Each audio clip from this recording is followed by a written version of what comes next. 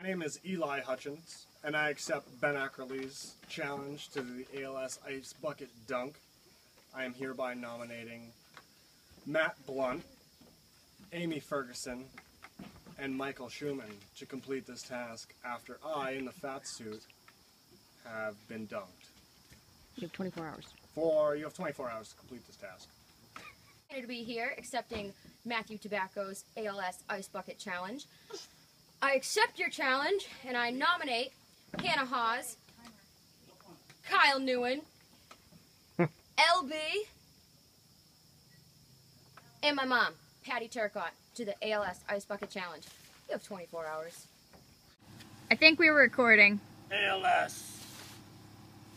Feel free to dump. I'm so fat! Jumping! Oh!